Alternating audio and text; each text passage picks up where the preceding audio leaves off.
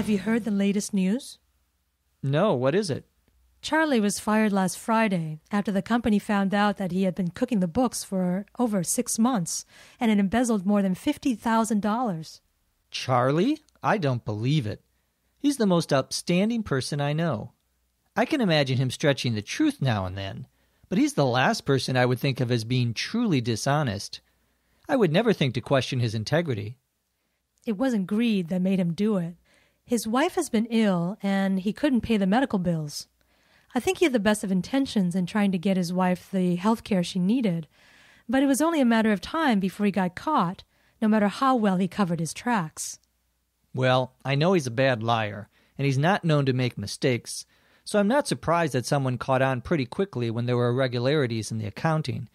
What I don't understand is if he was having financial problems, why didn't he tell anybody?